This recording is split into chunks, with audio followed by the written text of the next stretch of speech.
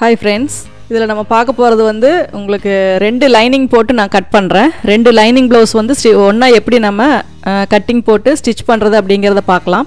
அதாவது அளவு வந்து ரெண்டு ப்ளவுஸ் வந்து ஒரே அளவில் நம்ம ஸ்டிச் பண்ணணும் அப்படின்னா நீங்கள் அதை ஒன்றும் தனித்தனியாக போட்டு கட் பண்ணுறத விட அந்த ரெண்டு இதையுமே லைனிங்குமே நீங்கள் ஒன்றா போட்டு கட் பண்ணிக்கலாம். இப்போ பார்த்தீங்கன்னா ஒரு ஆரஞ்சு கலர் ஒரு எல்லோ கலர் இந்த ரெண்டு இதை வச்சு நான் வந்து இதை கட்டிங் போடுறேன். உங்களுக்கு எப்பவும் போல் அளவு வந்து இடுப்பு உயரம் ஷோல்டர் அளவு ஆம்ஹோல் அளவு செஸ்ட் ரவுண்டு வெயிஸ்ட் ரவுண்டு நெக்குடைய அகலம். இந்த பேக்கில் வந்து இந்த அளவு மட்டும்தான் நம்ம வந்து போட போகிறோம் ஃபஸ்ட்டு வந்து கீழே வந்து ஸ்ட்ரைட் பண்ணிக்கோங்க. அந்த ஸ்ட்ரைட் பண்ணுறது வந்து நீங்கள் எல் ஸ்கேல் வச்சு பண்ணீங்க அப்படின்னா உங்களுக்கு அந்த ரெண்டு பக்கம் வர கார்னரும் உங்களுக்கு வந்து கரெக்டாக வரும்போது அந்த ஸ்ட்ரைட் வந்து கரெக்டாக வரும். அப்படி இல்லாமல் நம்ம போட்டோம் அப்படின்னா அந்த அந்த இடத்துல வந்து லைட்டாக ஒரு ஸ்டாண்டிங் வரும். அதனால தான் இந்த மாதிரி ஃபஸ்ட் லைன் போடும்போது நம்ம எல் ஸ்கேல் வந்து நம்ம யூஸ் பண்ணுறோம்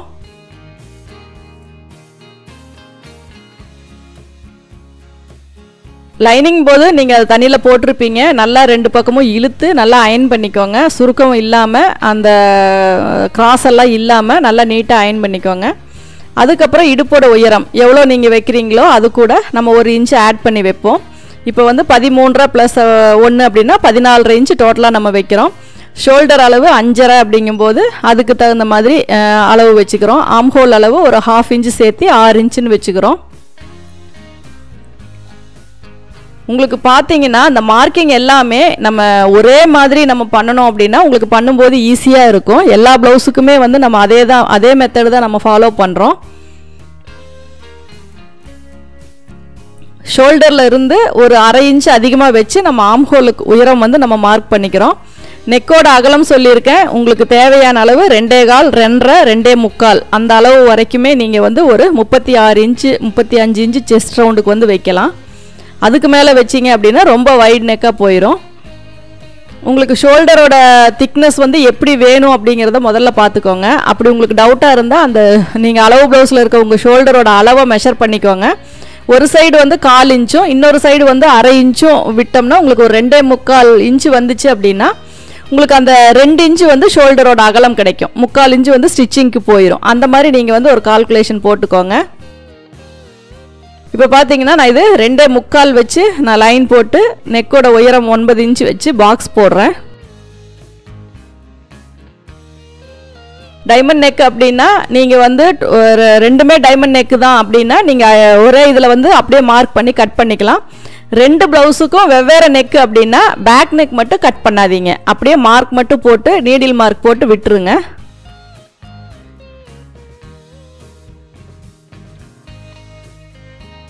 செஸ்ட் ரவுண்டு நீங்கள் எப்பவும் போ எடுக்கிற மாதிரி தான் ஒன் ஃபோர்த்து அதாவது ஈஸ் அலவன்ஸ் நாலு இன்ச்சு சேர்த்துக்குவீங்க. இல்லை அளவு ப்ளவுஸில் எடுத்திருக்கீங்க அப்படின்னா நாலாக பிரிச்சுக்குவீங்க. அதை அப்படியே அந்த ஆம்ஹோல் லைனில் மார்க் பண்ணிக்கோங்க. அதுக்கப்புறம் ஒரு ஒன்றரை இன்ச்சு அதிகமாக வச்சுக்கோங்க. அதே மாதிரி இடுப்பு சுற்றளவு அப்படிங்கும்போது ஒன் ஃபோர்த்து வெயிஸ்ட் ரவுண்டு தான் ஒரு இன்ச்சு டாட்டுக்காக சேர்த்திக்கோங்க. இப்போ பேக் மட்டும்தான் நம்ம கட் பண்ணுறோம் அதனால் ஃப்ரண்ட்டில் இருக்க மெஷர்மெண்ட்ஸ் வச்சு நீங்கள் கன்ஃபியூஸ் பண்ணிக்க வேண்டாம். இது வந்து ஒன் ஃபோர்த் அப்படிங்கும்போது நாலில் ஒரு பங்கு அளவு மட்டும்தான் நம்ம இதில் குவிக்க போகிறோம் ஆம்ஹோலுக்கு வந்து நீங்கள் மேலேருந்து ஷோல்டர் கீழே ஒரு ரெண்டு இன்ச்சும் கீழே வந்து அந்த நம்ம செஸ்ட் ரவுண்டு மார்க் பண்ணியிருக்க இடத்துல இருந்து ஒரு ஹாஃப் இன்ச்சும் வச்சு அதுக்கு மட்டும் ஒரு கேர்வ் லைன் போட்டுக்கிட்டிங்கன்னா போதும். மேலே இருந்தே வரைகிறதுக்கு உங்களுக்கு கஷ்டமாக இருக்குது கரெக்டான ஷேப் வரல அப்படின்னா நீங்கள் அந்த மேலேருந்து ரெண்டு இன்ச்சு மார்க் பண்ணிக்கோங்க. அதிலிருந்து மட்டும் ஒரு கர்வ் லைன் வரைஞ்சிக்கோங்க. அந்த கேப் பார்த்தீங்கன்னா உங்களுக்கு ஆம்ஹோல் இதிலிருந்து ஒன்றே முக்கால் அல்லது ஒன்றரை இன்ச்சு வரும். அதே மாதிரி பேக் நெக் வந்து வைடாக வரணும் அப்படின்னா ஒரு ஹாஃப் இன்ச்சு தள்ளி நீங்கள் வந்து ஒரு லைன் போட்டுக்கோங்க. அந்த லைனில் வந்து நீங்கள் அகலத்தை மட்டும் கீழே வர அகலத்தை மட்டும் அதில் வரைஞ்சிக்கோங்க. மேலே இருக்கிறது எப்பவும் போல் ஷோல்டர் அளவுலேயே நீங்கள் லைன் போட்டுக்கலாம். அப்போ வந்து உங்களுக்கு பின்னாடி டைமண்ட் நெக் வந்து நல்லா வைடாக அகலமாக நமக்கு கிடைக்கும். நீங்கள் ஏற்கனவே போட்டிருக்க பாக்ஸ்குள்ளே போட்டிங்க அப்படின்னா கொஞ்சம் குறுகலாக கிடைக்கும். உங்களுக்கு எப்படி நெக்கோடைய ஷேப் வேணுமோ அதுக்கு தகுந்த மாதிரி நீங்கள் அந்த லைன்ஸ் வந்து நீங்கள் போட்டுக்கோங்க.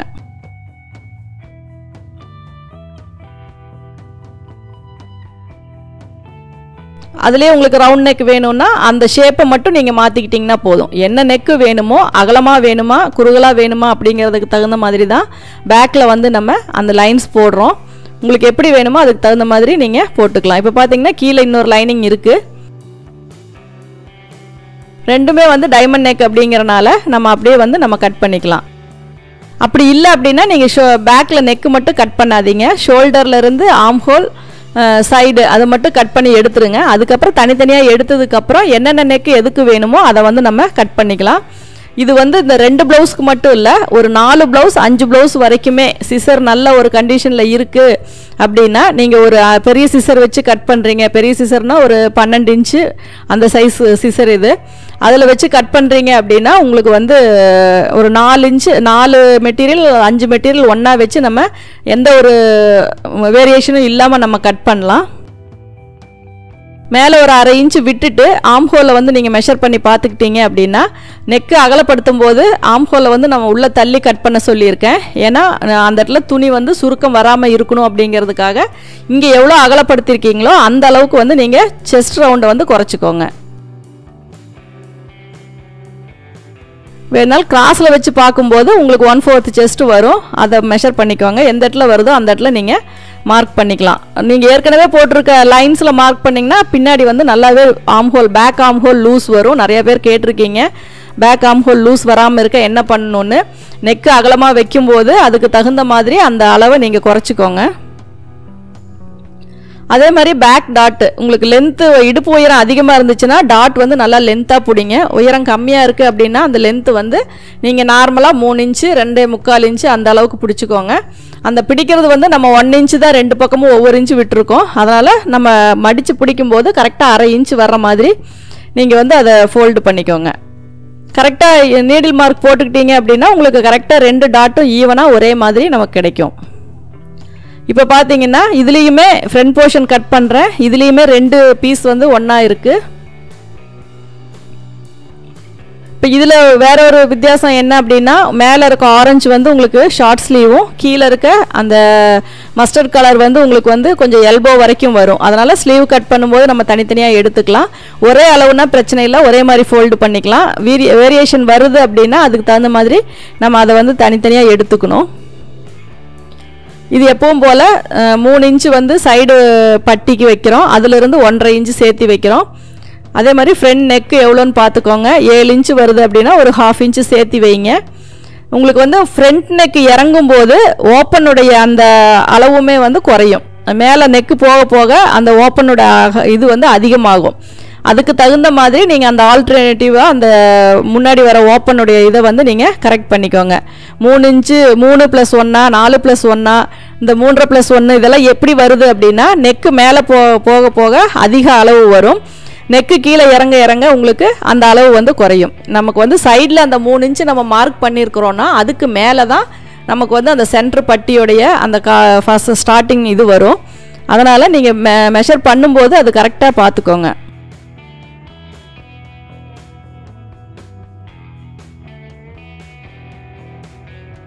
இப்போ பார்த்தீங்கன்னா ஷோல்டரில் ஒரு லைன் போட்டாச்சு ஓப்பன் பக்கம் ஒரு லைன் போட்டாச்சு. இப்போ கட் பண்ணும்போது நம்ம ஷோல்டரையும் ஆம் ஹோலையும் நம்ம கட் பண்ணி ரிமூவ் பண்ணிக்கிறோம். அதுக்கப்புறம் நம்ம ஷோல்டர் கழுத்தோட அகலத்துக்கு ஒரு சிசர் கட் போட்டுக்கோங்க.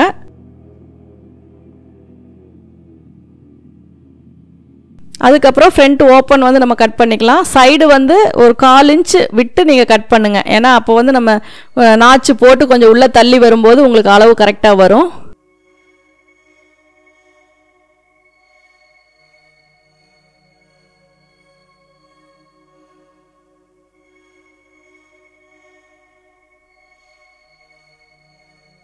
இப்போ அந்த மார்க்கிங்கில் இருந்து கொஞ்சம் எக்ஸஸாக விட்டு கட் பண்ணிக்கோங்க.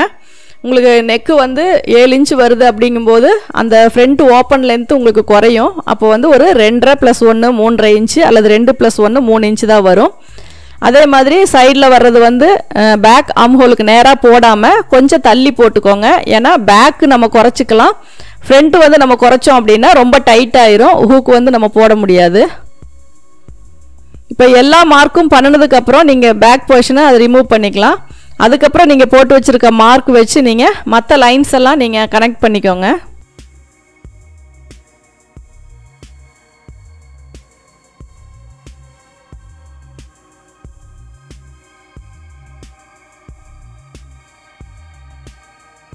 நிறைய பேருக்கு ஃப்ரெண்ட் டாட் வந்து பர்ஃபெக்டாக வரல அப்படின்னு சொல்லி சொல்லியிருக்கீங்க. அந்த ப டாட் வந்து கரெக்டாக சென்டர் பாயிண்ட் நீங்கள் மிட் பாயிண்ட் கரெக்டாக பார்த்து குறிச்சிட்டீங்க அப்படின்னா அது சுற்றி வர பாயிண்ட்ஸ் எல்லாமே உங்களுக்கு வந்து கரெக்டான பொசிஷனில் உங்களுக்கு கிடைக்கும். அதனால் நீங்கள் போடுற அந்த சென்டர் டாட் ஓகே அதை ஒன்றும் நம்ம பண்ண தேவையில்லை. அடுத்த ரெண்டு டாட்டை வந்து கொஞ்சம் கொஞ்சம் மேலே ஏற்றிக்கோங்க அப்போ ஓரளவுக்கு உங்களுக்கு கப் ஷேப் பர்ஃபெக்டாக வரும்.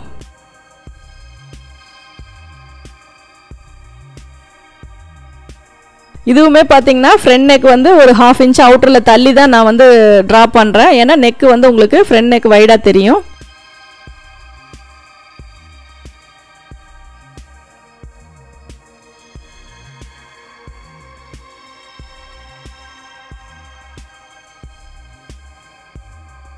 அதே மாதிரி ஒரு ஹாஃப் இன்ச்சு நான் ஏற்கனவே ஒரு இதில் சொல்லியிருக்கேன். பேக் வந்து நெக்கு அகலப்படுத்தும் பொழுது ஆம்ஹோல் செஸ்ட் ரவுண்டை குறைக்க சொல்லியிருக்கேன். ஃப்ரண்ட்டில் வந்து நெக்கு அகலப்படுத்தும் பொழுது முன்கழுத்தினுடைய அகலத்தை குறைக்க சொல்லியிருக்கேன். இந்த இடத்துல வந்து நீங்கள் ஆம்ஹோல் கிட்ட எதுவும் பண்ண தேவையில்லை. ஏன்னா உங்களுக்கு ஃப்ரண்ட்டில் தான் லூஸ் அதிகமாக வரும். அதனால் ஃப்ரண்ட்டில் வர அந்த இதை மட்டும் ஒரு ஹாஃப் இன்ச்சு கட் பண்ணிக்கோங்க. அதே மாதிரி மேலே ஷோல்டர் கிட்ட வர்றதுலேயும் லைட்டாக ஒரு ஸ்லாண்டிங்காக ஒரு கட்டிங் போட்டுக்கோங்க.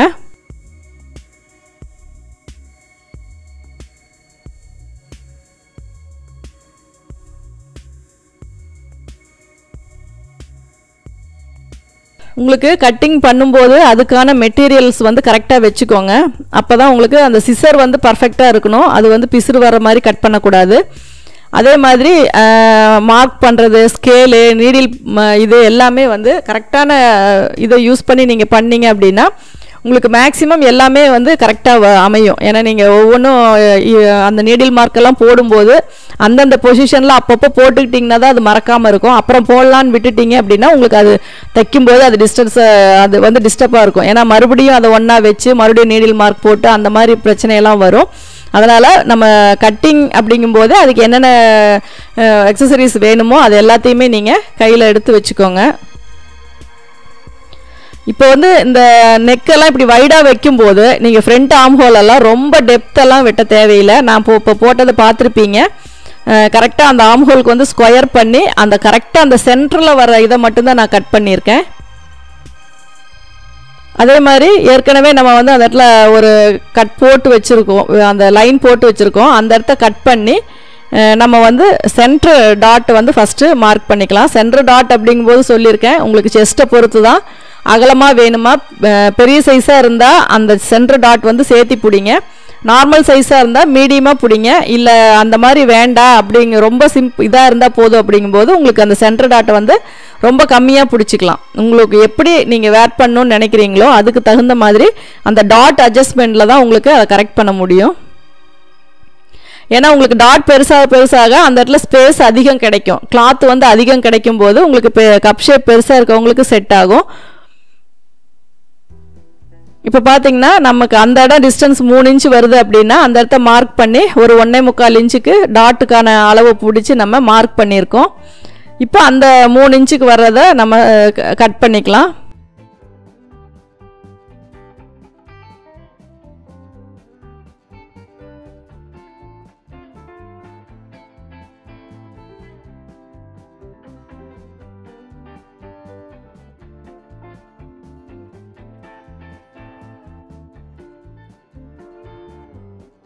இப்போ வந்து உங்களுக்கு அந்த சென்ட்ரு டாட் வந்து நீங்கள் கரெக்டாக எங்கே வருது அப்படிங்கிறது வந்து ஒரு அப்ராக்சிமேட்டாக நீங்கள் வச்சுக்கோங்க. ஏன்னா ஒரு ஒன்பது இன்ச்சு ஒன்பதரை இன்ச்சு அந்த லெவலில் தான் வந்து உங்களுக்கு செஸ்ட் பாயிண்ட்க்கு வரும். இப்போ நீங்கள் அதை சுற்றி வந்து உங் நீங்கள் டாட் பிடிச்சிங்க அப்படின்னாவே உங்களுக்கு ஆட்டோமேட்டிக்காக கப் ஷேப் வந்து கரெக்டாக வ வந்துடும் அந்த சென்டர் பிடிக்கிற டாட் வந்து நீங்கள் ரொம்ப கீழே இறக்க இறக்க உங்களுக்கு கப் ஷேப்பும் கீழே இறங்கும். அதனால் ஆம்ஹோல் டாட்டும் கொஞ்சம் மேலே தள்ளி பிடிச்சிக்கோங்க. ஆம்ஹோல் பக்கம் தள்ளிட்டு போக வேண்டாம். அதே மாதிரி சென்டர் டாட்டும் கழுத்து பக்கம் மேலே ஏற்றிக்கோங்க ரொம்ப கீழ் பக்கமாக கொண்டு போயிட வேண்டாம். ஏன்னா கீழே போக போக தான் உங்களுக்கு கப் ஷேப் வந்து அந்த மாதிரி வரும்.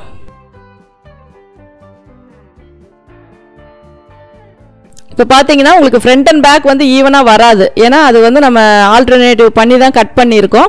ஆனால் உங்களுக்கு ஸ்டிச் பண்ணி ஃபினிஷ் பண்ணும்போது ஆம்ஹோல் நாச்சஸ் ரெண்டுமே ஈவனாக வரும். பேக் ஆம் ஹோல் நாச்சும் ஃப்ரண்ட் ஆம் ஹோல் நாச்சும் ஈவனாக வரும். நீங்கள் அதுக்கு தகுந்த மாதிரி ஸ்லீவும் வந்து மெஷர்மெண்ட் கரெக்டாக பார்த்து கட் பண்ணுங்கள் அது ஏன் மேட்ச் ஆக மாட்டேங்குது அப்படின்னா நீங்கள் இந்த மாதிரி சின்ன சின்ன அட்ஜஸ்ட்மெண்ட் இதில் பண்ணும்போது நீங்கள் ஸ்லீவ் கட் பண்ணும்போது கரெக்டாக அந்த மெஷர்மெண்ட்டை மைண்டில் வச்சு இதை மெஷர் பண்ணி பார்த்து இதுக்கும் அதுக்கும் செட் ஆகுமா அப்படிங்கிறது ஒரு தடவைக்கு ரெண்டு தடவை மெஷர் பண்ணி பார்த்துட்டு நீங்கள் கட் பண்ணீங்க அப்படின்னா உங்களுக்கு வந்து அந்த வேரியேஷன் வராது. கரெக்டாக வந்து எல்லா நாச்சஸுமே உங்களுக்கு வந்து கரெக்டாக ஈவனாக செட் ஆகும்.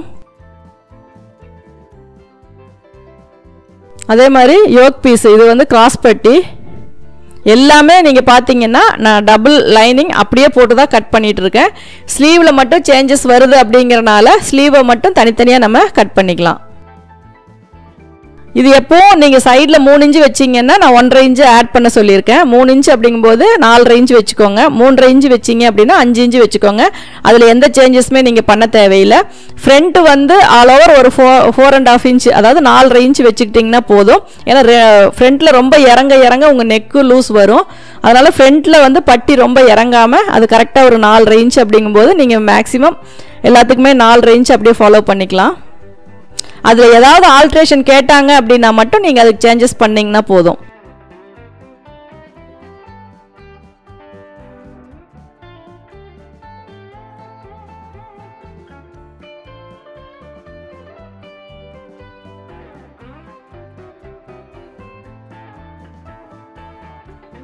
அந்த ஸ்லாண்டிங் லைன் எப்படி வருது அப்படிங்கிறது உங்களுக்கு புரியும். ஏன்னா முன்னாடி நம்ம கிராஸ் பட்டிக்கு வந்து அந்த ஸ்லாண்டிங்காக ஒரு லைன் போட்டிருக்கும் போது அதே ஷேப் நமக்கு வந்து யோக்கில் கிடைச்சாதான் உங்களுக்கு அது சீட்டிங் ஆகிறதுக்கு ஈஸியாக இருக்கும். அந்த சென்டரில் வர்றது வந்து நம்ம டாட் பிடிச்சிருவோம். அப்போ அதை ஃபோல்டு பண்ணிட்டோம் அப்படின்னா அதுக்கப்புறம் வர அந்த ஹாஃப் வந்து என்ன ஸ்லாண்டிங்கில் வருது அப்படிங்கிறத பார்த்துக்கோங்க. அதுக்கு தகுந்த மாதிரி நீங்கள் லைன்ஸ் போட்டுக்கோங்க. ஒவ்வொன்றும் அப்படி வச்சு பார்க்கணுங்கிறது இல்லை. இது வந்து உங்களுக்கு சும்மா ஒரு ஐடியா கிடைக்கணும் அப்படிங்கிறக்காக நான் வச்சு காட்டுறேன். நீங்கள் இந்த மேக்ஸிமம் அந்த கேப் எவ்வளோ இருக்கோ அந்த அளவுக்கு நீங்கள் வச்சுட்டு லைன் போட்டிங்க அப்படின்னாவே உங்களுக்கு கரெக்டாக வந்துடும்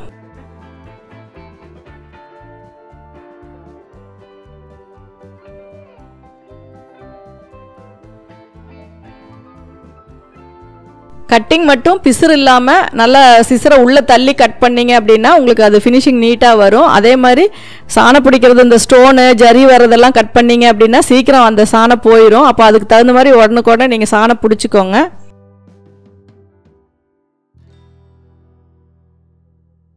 ஒரு சில இதில் எக்ஸசைஸ் இருந்தால் அப்படியே விட்டுருங்க. ஏன்னா நம்ம டாட் வந்து பர்ஃபெக்டாக பிடிச்சோம்னா தான் அது கரெக்டாக வரும். கொஞ்சம் உள்ளே தள்ளி பிடிச்சிட்டிங்க அப்படின்னா சைடில் எக்ஸஸ் ஆறு மைனஸ் ஆகும். அதனால் நீங்கள் உள்ள மேலே வந்து கொஞ்சம் கிளாத் எக்ஸஸாக இருந்தாலும் பரவாயில்ல. இப்போ மூணு இன்ச்சுக்கு அங்கே இருக்குது அப்படின்னா இதில் நாலு இன்ச்சுக்கு நாச்சஸ் போட்டுக்கோங்க. அதே மாதிரி ஃப்ரண்ட் அப்படிங்கிறதுக்கு ஒரு நாச் போட்டுக்கோங்க. அதுக்கப்புறம் ஸ்லீவு இது வந்து ஒரு லாங் ஸ்லீவ் லாங் ஸ்லீவ் அப்படிங்கும்போது எல்போ வரைக்கும் உங்களுக்கு என்ன மெஷர்மெண்ட் வேணும்? பத்தரை இன்ச்சு வேணுமா? பதினோரு இன்ச்சு வேணுமா? அப்படிங்கிறத பார்த்துட்டு அது கூட இன்னொரு ஒன் இன்ச் ஆட் பண்ணிட்டீங்க அப்படின்னா ஷோல்டர் ஜாயிண்ட்டுக்கும் கீழே வந்து உங்களுக்கு கீழே மடித்து தைக்கிற அளவுக்கும் வந்து உங்களுக்கு எக்ஸஸாக கிளாத் வேணும். அதனால் ஒரு ஒன் இன்ச் ஆட் பண்ணிக்கோங்க.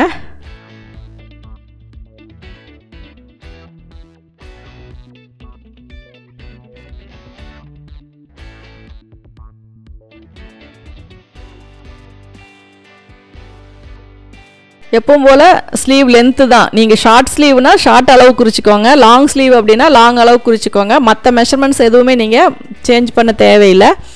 ஆம்ஹோல் அளவு இந்த இடத்துல நீங்கள் மார்க் பண்ணும்போது தான் ரொம்ப கவனமாக கேர்ஃபுல்லாக பார்க்கணும். அப்போ தான் வந்து உங்களுக்கு ஆம்ஹோல் வந்து மேட்ச் பண்ணி அந்த நாச் வந்து உங்களுக்கு கரெக்டாக வரும்.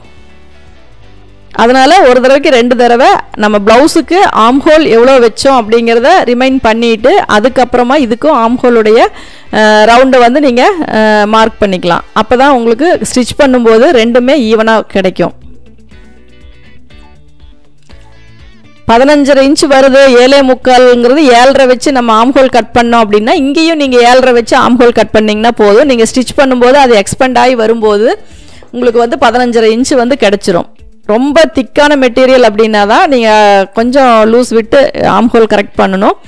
மற்ற மெட்டீரியலுக்கு எல்லாமே வந்து உங்களுக்கு நீங்கள் எப்பவும் வைக்கிறத விட ஒரு கால் இன்ச்சு குறைச்சி வச்சீங்க அப்படின்னா பாடிலையும் குறைச்சி வைக்கணும்.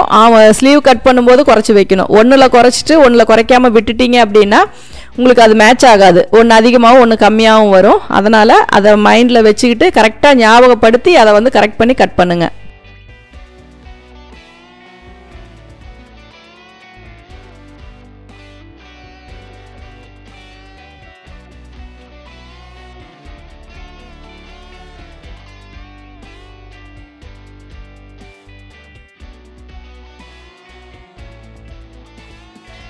எப்போவுமே ஜாயிண்ட் வந்து எப்படி போடணும் அப்படிங்கிறது த தெரியும். உங்களுக்கு ஏற்கனவே நம்மக்கிட்ட ஸ்லீவ் ஜாயிண்ட் எப்படி போடுறது அப்படிங்கிறது வீடியோஸ் இருக்குது அந்த ஜாயிண்ட் வந்து எப்படி போட்டால் நமக்கு பர்ஃபெக்டாக கரெக்டாக வரும் அப்படிங்கிறதையும் நீங்கள் அதை பார்த்து நீங்கள் அதுக்கு தகுந்த மாதிரி பண்ணிக்கலாம். ஏன்னா லைனிங் கிளாத் வந்து ஷார்ட்டேஜாக இருக்கும்போது லா நம்ம லைனிங்கில் வந்து அட்டாச் பண்ணி அதாவது எக்ஸஸாக கிளாத்து ஜாயின் போட்டு தான் ஸ்லீவ் வெட்டி ஆகணும்.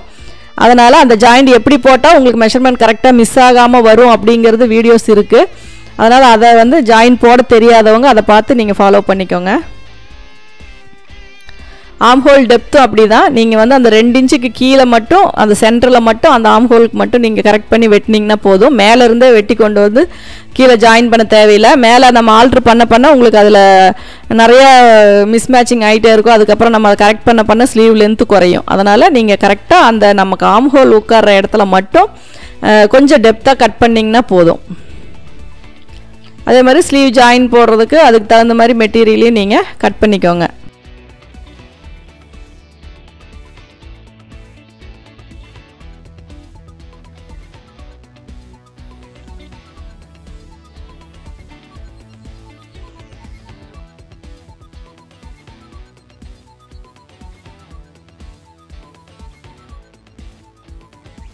இது வந்து உங்களுக்கு ஷார்ட் ஸ்லீவு ஸ்லீவ் சென்டரில் வந்து ஒரு சின்னதாக ஒரு வி லைன் வர மாதிரி இதில் இருக்கும். உங்களுக்கு ஷார்ட் ஸ்லீவ்னாவே மேக்ஸிமம் ஜாயிண்ட் வராத அளவுக்கு போட்டுக்க முடியுமா அப்படின்னு கிராஸாக நீங்கள் வந்து மடித்து போட்டு பாருங்கள் எப்பவும் ஸ்ட்ரைட் வைஸ் போடுவோம். அதையே வந்து நீங்கள் நீளம் அதிகமாக இருக்கும்போது கொஞ்சம் த தள்ளி ஒரே இதில் வந்து ரெண்டு ஸ்லீவ் எடுக்கிற மாதிரி அட்ஜஸ்ட் பண்ணிக்கோங்க. இதில் வந்து சேம் அதே தான் அஞ்சரை இன்ச்சு அப்படின்னா ஆறு ஆறரை இன்ச்சு மொத்த டோட்டல் லென்த் வச்சுக்கோங்க. கீழே ஹாஃப் இன்ச்சு மேலே ஹாஃப் இன்ச்சு போயிடும். மீதி வர்றது வந்து நமக்கு அஞ்சரை இன்ச்சு ஸ்லீவோட லென்த்து கிடச்சிரும்.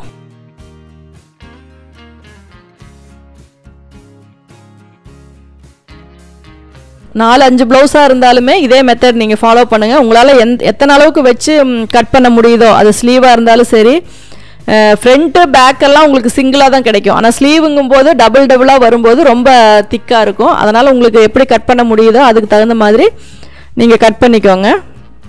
இல்லைன்னா ஒரு ஸ்லீவ் மட்டும் கட் பண்ணிவிட்டு அதை சாம்பிளாக வச்சு அதாவது அதை பேட்டர்ன் மாதிரி வச்சு ஒவ்வொன்றுக்கும் அடுத்தடுத்து நீங்கள் வேறு ஸ்லீவ் வந்து கட் பண்ணிக்கலாம்.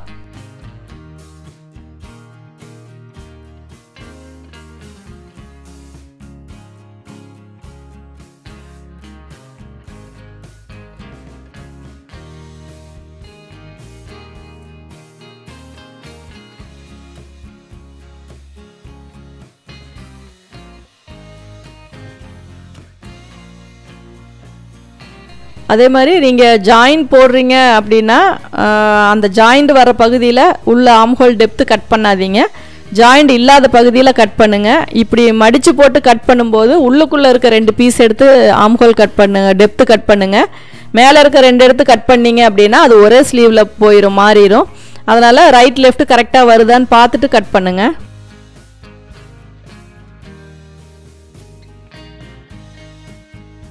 இப்போது நம்ம பேக் ரெண்டு ஃப்ரண்ட்டு ரெண்டு ஸ்லீவ் வந்து நாலு யோக் பீஸ் வந்து நாலு. இப்படி எல்லாமே என்னென்ன தேவையோ அது எல்லாத்தையுமே கட் பண்ணிக்கிட்டோம். இப்போ கட் பண்ணது எல்லாமே அந்தந்த செட்டோட நீங்கள் மேட்ச் பண்ணி வச்சுக்கோங்க. அதுக்கப்புறம் அதை மெயின் கிளாத்து ரெட்டுக்குன்னா அந்த ரெட்டு மெயின் கிளாத்தும் எல்லோக்குன்னா எல்லோ மெயின் கிளாத்தும் வச்சு அதுக்கப்புறம் வந்து நம்ம கட் பண்ணலாம். இப்போ இதில் வந்து நான் கட் பண்ணுறது ரெண்டு ப்ளவுஸ் கட் பண்ணுறேன் ஆனால் ஸ்டிச் பண்ணுறது வந்து ஒரு ப்ளவுஸ் தான் எப்படி ஸ்டிச் பண்ணுறது அப்படிங்கிறத நான் சொல்லியிருக்கேன் சொல்ல போகிறேன் ஏற்கனவே வந்து இந்த வீடியோஸில் வந்து உங்களுக்கு இந்த ப்ளவுஸை யூஸ் பண்ணி நிறைய டவுட்ஸுக்காக பார்ட் பார்ட்டாக நான் போட்டிருக்கேன். இப்போ இதில் போட போகிறது வந்து டோட்டலாக ஓவரால் ஸ்டார்டிங் டு எண்டு வரைக்கும் நம்ம எப்படி வந்து ஸ்டிச் பண்ணுறது அப்படிங்கிறத நம்ம பார்க்கலாம். இப்போ இதுக்கான மெயின் கிளாத் எது அப்படிங்கிறத பார்த்து நம்ம அதை வந்து அதில் வச்சு கட் பண்ணிக்கலாம். த்ரெட்டு வந்து மேட்சிங் த்ரெட்டு போட்டுக்கோங்க.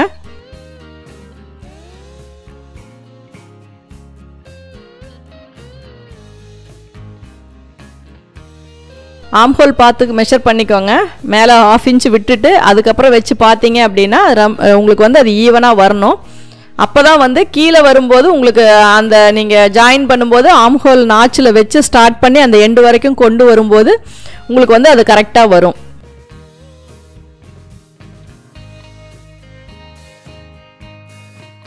ஏன்னா இது ஸ்லீவ் தனித்தனியாக தான் நம்ம கட் பண்ணியிருக்கோம். அதனால் நீங்கள் மெஷர் பண்ணி பார்த்துக்கோங்க. ஃப்ரண்ட் போர்ஷனை வந்து நீங்கள் அதில் கால்குலேட் பண்ண தேவையில்லை. ஏன்னா ஃப்ரண்ட் போர்ஷனுடைய நாச்சஸும் நம்ம மாற்றி போட்டிருப்போம். அதில் டாட்ஸ் எல்லாம் நம்ம பிடிப்போம். அதனால் நீங்கள் கன்ஃபியூஸ் பண்ணிக்க வேண்டாம். ஃப்ரண்ட் போர்ஷனை தனியாக எடுத்து வச்சுட்டு பேக்கு கூட மட்டும் நீங்கள் அதை கம்பேர் பண்ணி பார்த்தீங்கன்னா போதும்.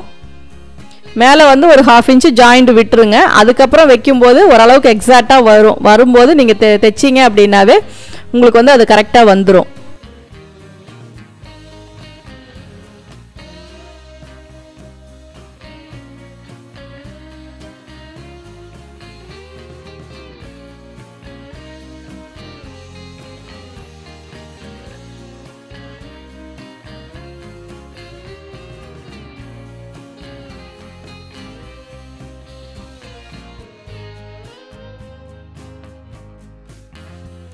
இப்போ இது வந்து ஆரஞ்சு கலர் உங்களுக்கு ஒரு பனாரஸ் மெட்டீரியல் டிஷ்யூவும் பனாரஸும் மிக்ஸ் ஆன ஒரு மெட்டீரியல் இதில் வந்து நீங்கள் மெயினாக பார்க்க வேண்டியது right side wrong side right side wrong side வந்து மேக்ஸிமம் நிறையா மெட்டீரியலுக்கு ஒரே மாதிரி தான் இருக்கும். ஆனால் உங்களுக்கு வந்து எந்த கலர் அதிகம் வேணும் அப்படிங்கிறத பார்த்து நீங்கள் சூஸ் பண்ணிக்கோங்க. ஆரஞ்சு அந்த மேங்கோ வந்து ஆரஞ்சு தெரியறது வேணுமா? இல்லை உள்பக்கமாக இருக்க அந்த ஜரியில் தெரியறது வேணுமா? அப்படிங்கிறத நீங்கள் டிசைட் பண்ணிவிட்டு அதுக்கு தகுந்த மாதிரி இந்த மெட்டீரியலை வந்து நீங்கள் ஃபோல்டு பண்ணிக்கோங்க. மேக்ஸிமம் வந்து நமக்கு அந்த செல்வேஜ் பார்த்து தான் ஸ்ட்ரைட்டு கிராஸ் நம்ம டிசைட் பண்ணுவோம். ஆனால் ஒவ்வொரு மெட்டீரியலில் பார்த்தீங்கன்னா நம்ம அதில் என்ன டிசைன் போட்டிருக்கோ அதுக்கு தகுந்த மாதிரி தான் நம்ம அதனுடைய பொசிஷனை மாற்றி வைப்போம். இப்போ இதில் பார்த்தீங்கன்னா கரைப்பகுதியை வந்து நம்ம ரெண்டாக மடிச்சிட்டோம். மற்றபடி ஸ்ட்ரைட் பண்ணும்போது கரைப்பகுதியை வந்து நீல வாக்கில் மடிப்போம். இப்போ இந்த டிசைனில் பொறுத்த வரைக்கும் கரைப்பகுதியை வந்து நம்ம குறுக்கு வாக்கில் மடிச்சிருக்கோம். சாரீ இதுக்கெல்லாமே பார்த்தீங்கன்னா மேக்ஸிமம் எல்லா மெத்தடுமே ஃபாலோ பண்ணுற மாதிரி தான் வரும். ப்ரொசீஜர் படி ஸ்டிச் பண்ணுறது அப்படிங்கிறது வந்து நம்ம செப்பரேட்டாக வாங்குகிற மெட்டீரியலுக்கு மட்டும்தான் பொருந்தும். டிசைனை பொறுத்தோ இல்லை அந்த வீவிங்ஸ் பொறுத்தோ நம்ம மாற்றணும் அந்த டிசைனுக்கு தகுந்த மாதிரி மாற்றணும் அப்படின்னா மெட்டீரியல் எப்படி இருக்கோ அதுக்கு தகுந்த மாதிரி நம்ம சில சேஞ்சஸ் வந்து பண்ணி தான் ஆகணும் கரெக்டாக எந்தெந்த பொசிஷனில் வச்சு ப்ளேஸ் பண்ணி பார்த்துக்க முடியுமோ ஏன்னா மெட்டீரியலோட கன்வீனியன்ஸ் வந்து நமக்கு ரொம்ப முக்கியம். ஒவ்வொன்றா வச்சு வச்சு வெட்டிட்டு கடைசியில் எதுவும் பத்தாமல் போயிடக்கூடாது.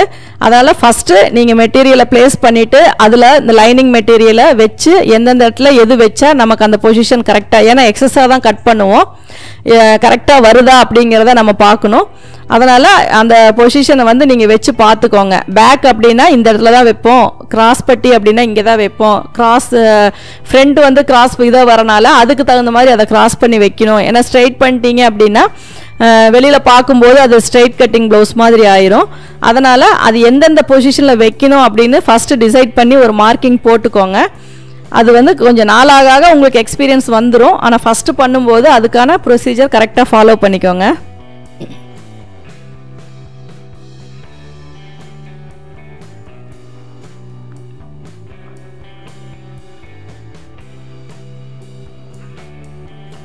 அது ஸ்லீவ் எப்படி நீங்கள் லைனிங்கில் ரெண்டாக மடித்து கட் பண்ணிங்களோ அதே மாதிரி ஜாயிண்ட் வர மாதிரி இருந்துச்சு அப்படின்னா நீங்கள் இதையும் ரெண்டாக மடித்து போட்டு கட் பண்ணிக்கோங்க. இது வந்து ஃப்ளோரல் டிசைன் அதாவது ஒரே மாதிரியான டிசைனாக இருந்தால் மட்டும்தான் இப்படி கட் பண்ண முடியும். உங்களுக்கு வந்து டிசைனில் வேரியேஷன் இருந்தது கீழே இருந்து மேலே வர மாதிரி இருக்குது அப்படின்னா அந்த தனித்தனி ஸ்லீவாக எடுத்து தான் நீங்கள் கட் பண்ணணும். ஏன்னா ஒரு ஸ்லீவ் ஒரு மாதிரியும் ஆப்போசிட் ஸ்லீவ் வேறு மாதிரி இருக்கக்கூடாது. அதனால் அந்த டிசைனில் இருக்க இது எல்லாத்தையுமே நீங்கள் செக் பண்ணிக்கோங்க. இப்போ பார்த்தீங்கன்னா இதில் ஸ்லீவ் வந்து லைட்டாக ஒரு வி ஷேப் கட் பண்ணுறேன் இது வந்து ரொம்ப பெரிய விஷயம்லாம் இல்லை. நம்ம அப்படியே அடித்து திருப்பிக்கலாம். பைப்பிங் வேணும் அப்படின்னாலும் பைப்பிங் வச்சுக்கலாம். லைட்டாக ஒரு கால் இன்ச்சுக்கு தான் நம்ம அதை கட் பண்ணுறோம் ஏன்னா நமக்கு கை வந்து கொஞ்சம் மேலே ஏறும். இந்த மாதிரி கேர்வ் லைன் வேணும் அப்படிங்கும்போது நீங்கள் ஒரு ஹாஃப் இன்ச்சு கை நீளத்தை கூட்டி அதுக்கப்புறமா இதை கட் பண்ணீங்க அப்படின்னா உங்களுக்கு என்ன லென்த் வேணுமோ அந்த லென்த் வந்து உங்களுக்கு கிடச்சிரும்.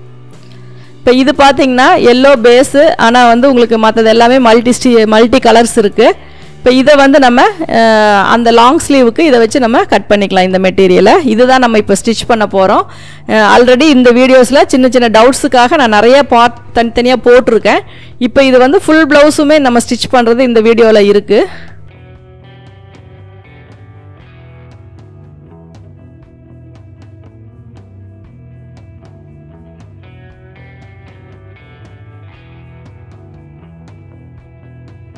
உங்களுக்கு வந்து நார்மல் ஸ்லீவ் அப்படின்னா 90 பாயிண்ட்ஸ் இருந்தால் போதும்.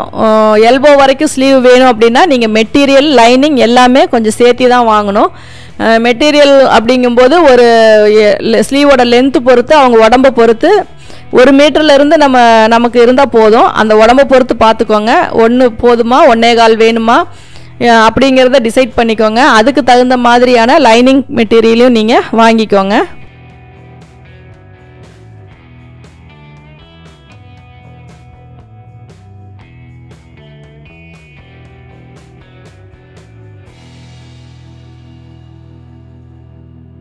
எப்போவுமே மெயின் கிளாத்து நம்ம எக்ஸஸாக விட்டு தான் கட் பண்ணுவோம்.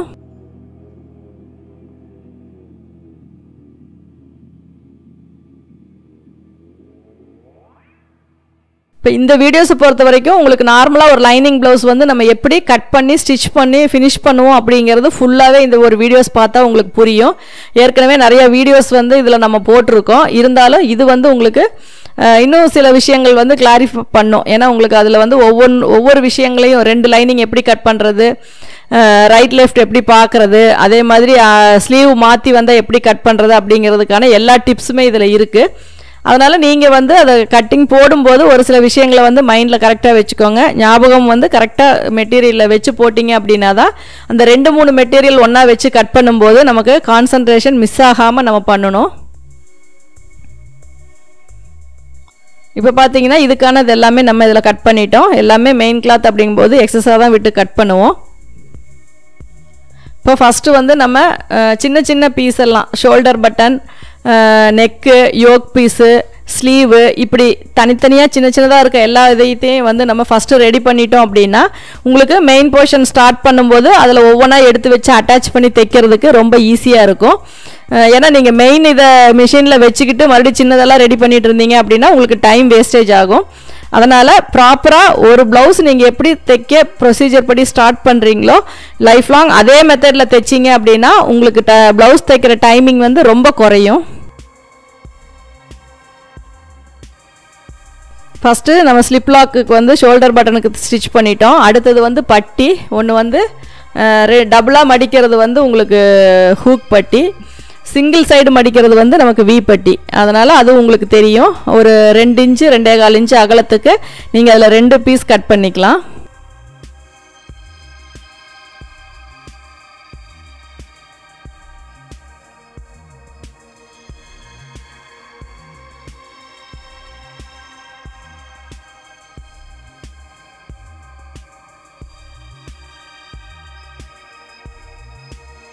உங்களுக்கு இந்த ப்ளவுஸில் ஃப்ரண்ட்டு அண்ட் பேக்கு எல்லாமே வந்து டைமண்ட் ஷேப்பு அதாவது ரவுண்டு வந்து கேர்வ் லைன் வந்து எங்கேயுமே வரல.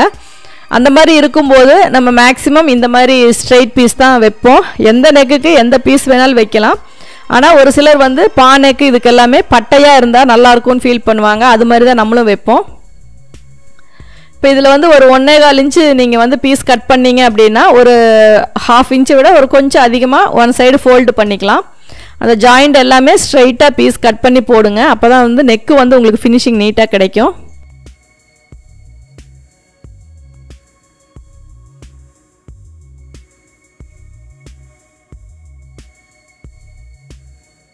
அதே மாதிரி ஸ்லீவ் ஜாயின் போடும்போது கேர்ஃபுல்லாக போடுங்க. ரைட் லெஃப்ட் மாறிடக்கூடாது. மேல் பக்கம் ஒன்று கீழ்ப்பக்கம் ஒன்று வச்சுக்கிட்டீங்க வச்சு பின் பண்ணிட்டீங்க அப்படின்னா உங்களுக்கு மாறவே மாறாது. அது நீங்கள் எப்படி எடுத்தாலும் அதில் இருக்க பொசிஷனில் அப்படியே வந்து நீங்கள் தையல் போட்டுக்கோங்க.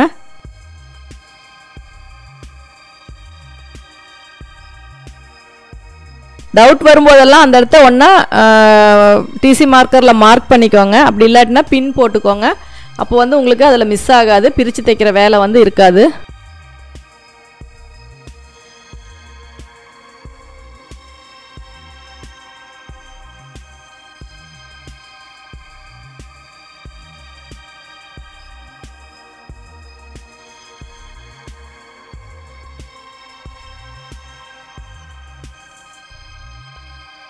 இதில் படிமான தையல் வேணும் அப்படின்னா போட்டுக்கலாம். இல்லை நகத்தில் நல்லா ப்ரெஸ் பண்ணிவிட்டு விட்டுறதுனால விட்டுக்கலாம். ஒன்றும் பிரச்சனை இல்லை. உள்பாக்கமே ரெண்டு தையல் போட்டுக்கலாம். எப்பவுமே ஒரு நல்ல சாரியாக நீங்கள் வாங்குறீங்க. ஒரு பட்டு சாரி இந்த மாதிரி எல்லாம் வாங்கும்பொழுது நீங்கள் உள்ளே வைக்கிற லைனிங் மெட்டீரியல் வந்து கேம்ப்ரிக் வாங்காமல் ஃபுல் ஆயில் மெட்டீரியல் வாங்குனீங்க அப்படின்னா உங்களுக்கு ப்ளவுஸோட ஃபினிஷிங்கும் வந்து உங்களுக்கு நல்லா நீட்டாக இருக்கும். கேம்ப்ரிக் வாங்கும்போது நம்ம தண்ணியில் போட்டு இழுத்து அயன் பண்ணும்போது எப்படியா இருந்தாலும் உள்பக்கம் வந்து அந்த சுருக்கம் அந்த இதெல்லாம் ஓரளவுக்கு அப்படியே தான் இருக்கும். அதுவே உங்களுக்கு ஃபுல் வாயில் மெட்டீரியல் அப்படின்னா ஒரு நல்ல காஸ்ட்லியான ப்ளவுஸுக்கு வச்சு ஸ்டிச் பண்ணீங்க அப்படின்னா உங்களுக்கு அதுக்கு நல்ல லைஃப் வரும். ஃபினிஷிங்கும் உங்களுக்கு தண்ணியில் போட போட சுருங்காமல் கரெக்டாக அதே ஃபிட்டிங்கில் வந்து உங்களுக்கு எப்போவுமே கிடைக்கும். அதே மாதிரி டிரான்ஸ்பரண்டான மெட்டீரியல் நெட் மெட்டீரியல் ரொம்ப மெலிசாக இருக்க இதெல்லாம் தைக்கும்போது கம்பல்சரி உள்ளே வந்து நீங்கள் லைனிங்க்கு வந்து ஃபுல் வாயில் பிட் பிட்டை வந்து யூஸ் பண்ணிக்கோங்க. அப்போ வந்து உங்களுக்கு பார்க்குறதுக்கு இன்னும் நல்லா நீட்டாக திக்காக இருக்கும் அந்த ப்ளவுஸு ஸ்லீவு ரைட் லெஃப்ட்டு மாறாமல் கரெக்டாக வச்சுக்கோங்க. எப்பவும் போல் கீழ்ப்பக்கம். நீங்கள் அடித்து திருப்பினாலும் ஓகே தான். இல்லை எக்ஸ்ட்ரா பீஸ் வச்சு அதை ஹெம் பண்ணுற மாதிரி வைக்கிறதுனாலும் ஓகே தான். உங்களுடைய டெய்லரிங் இதில் நீங்கள் எப்படி ப்ராப்பராக ஒன்று பண்ணிட்டு இருக்கீங்களோ அதே மெத்தடை கூட நீங்கள் ஃபாலோ பண்ணிக்கலாம். இப்படி தான் பண்ணணும்னு இல்லை. அதே மாதிரி ஒருத்தர் ஒரு விஷயம் சொல்லித் தராங்க அப்படின்னா உங்களுக்கு அது ஸ்டிச் பண்ணி பாருங்கள் உங்களுக்கு ஆப்டாக இருந்துச்சு ஈஸியாக இருக்குது அப்படின்னா அந்த மெத்தடை சேஞ்ச் பண்ணி ஃபாலோ பண்ணுங்கள் அப்படி இல்லை நீங்கள் பண்ணிட்டு இருக்கிறதே ஈஸியாக இருக்குது அப்படின்னா அதையே ஃபாலோ பண்ணுங்கள் ஏன்னா நமக்கு வந்து ஃபினிஷிங்கும் அந்த மெத்தடு இதுதான் நமக்கு முக்கியம். ஆனால் எப்படி ஸ்டிச் பண்ணுறோம் அப்படிங்கிறது அது அவங்கவுங்க எக்ஸ்பீரியன்ஸ் பொறுத்து தான் வரும். ஒருத்தர் பண்ணுற மாதிரியே பண்ணணும் அப்படிங்கிறதெல்லாம் கட்டாயம் இல்லை. உங்களுக்கு பிடிச்சிருந்தா அந்த வே ஆஃப் டீச் இதை வந்து நீங்கள் மாற்றிக்கலாம் ஸ்டிச்சிங்கை மாற்றிக்கலாம் இல்லை நீங்கள் பண்ணுறதே ஆப்டாக இருக்குது ஈஸியாக இருக்குது அப்படின்னா நீங்கள் அதையே ஃபாலோ பண்ணிக்கலாம். எது எது வேணுமோ அதை மட்டும் நீங்கள் யூஸ் பண்ணிக்கலாம். எல்லாமே இதே மாதிரி பண்ணணும் அப்படிங்கிறது கிடையாது. எந்தெந்த இது உங்களுக்கு ஈஸியாக இருக்கோ இப்படி பண்ணனா நல்லாயிருக்கும் நீங்கள் ஃபீல் பண்ணுறீங்களோ அந்த விஷயங்களை மட்டும் நீங்கள் எடுத்துக்கோங்க. ஏன்னா ஒரு முறை வந்து இப்படி தான் வெட்டுறோம் இப்படி தான் ஸ்டிச் பண்ணுறோம் அப்படிங்கிறது ஒவ்வொருத்தரும் ஒவ்வொரு மாதிரி கற்றுக்கிட்டு இருப்பாங்க. ஏன்னா அதை மாற்றும் போது அவங்களுக்கு அந்த ஸ்பீடு குறையும் அந்த அது ஒரு புதுசாக அது வந்து டக்குன்னு ஞாபகத்தில் வச்சுக்கிறது கஷ்டம். அந்த மாதிரி இருக்கும்போது அவங்கவுங்க மெத்தடே ஃபாலோ பண்ணிக்கலாம். நமக்கு அதில் என்ன விஷயம் யூஸ்ஃபுல்லாக இருக்கோ அதை மட்டும் நம்ம எடுத்துக்கலாம். ஃப்ரண்ட் நெக்குமே நல்லா திக்காக இருக்க மெட்டீரியல் அப்படின்னா நீங்கள் அடித்து திருப்பிக்கலாம். அதாவது அது வந்து வேறு எக்ஸ்ட்ரா பீஸ் கொடுத்து இன்னும் அதை வந்து ரொம்ப திக்காக்கணும் அப்படிங்கிறது கிடையாது. உள்பக்கமாக இன்னொரு பீஸ் வச்சு கூட நீங்கள் அடித்து திருப்பிக்கலாம். நார்மலாக இருக்குது அப்படின்னா நீங்கள் வந்து எப்பவும் போல் நமக்கு அதுக்கு ஃபேஸிங் பீஸ் கொடுத்தே நம்ம ஸ்டிச் பண்ணிக்கலாம். இப்போ இந்த டாட் வந்து கரெக்டாக அந்த சென்டர் பாயிண்ட்டை டச் பண்ணி நீங்கள் கரெக்டாக போட்டுக்கிட்டீங்க அப்படின்னா உங்களுக்கு வந்து அடுத்த டாட் பிடிக்கும்போது ஈஸியாக வரும். அதனால் அந்த தையல் வேணும் அப்படின்னா லாங் ஸ்டிச்சில் வச்சு போட்டுக்கோங்க. இல்லாட்டினா நார்மல் ஸ்டிச்சை வச்சே கூட நீங்கள் அந்த இடத்துல ஒரு தையல் வந்து போட்டுக்கலாம். யோக் பீஸ் அதே மாதிரி தான் திக்காக வச்சுக்கோங்க. உள்ளே வந்து பழைய பேண்ட்டோட மெட்டீரியல் இருந்தால் கூட கட் பண்ணி வச்சுக்கலாம். இல்லை நம்ம கிலோ கணக்கில் எக்ஸ்ட்ரா வேஸ்டேஜ் பீஸ் எல்லாம் கிடச்சிச்சு அப்படின்னா அதையும் வாங்கி நம்ம யூஸ் பண்ணிக்கலாம். எப்படி வச்சா நமக்கு அந்த பட்டி திக்காக கிடைக்குதோ அதுக்கு தகுந்த மாதிரி நீங்கள் உள்ளே வந்து பீஸ் வந்து யூஸ் பண்ணிக்கலாம். கொஞ்சம் வயிறு பெருசாக இருக்குது அப்படின்னா நீங்கள் மொத்தமான பீஸ் வச்சிங்கன்னா அந்த ஃப்ரண்ட் வந்து சுருங்காமல் ஓரளவுக்கு ஸ்டிஃபாக நிற்கும் அதனால் முடிஞ்ச வரைக்கும் நீங்கள் அந்த உள்ளே வைக்கிற மெட்டீரியல் வந்து ஓரளவுக்கு திக்காக இருக்கிற மாதிரியான மெட்டீரியல் உள்ளே வச்சு கிராஸ் பட்டி வந்து நீங்கள் கவர் பண்ணிக்கோங்க. இதுலேயும் அப்படி தான் படிமான தையல் வேணும்னா போட்டுக்கோங்க. வேண்டாம் அப்படின்னா அப்படியே மடித்து தையல் போட்டுக்கோங்க. ஆனால் கீழே இருக்க லைனிங் கிளாத் வந்து உங்களுக்கு மேல் பக்கம் தெரியக்கூடாது. மேலே வர தையல் வந்து பார்க்கறக்கு நீட்டாக நம்ம ஒரே அளவு ஒரு கைடு அளவுக்கு தையல் போட்டுக்கலாம்.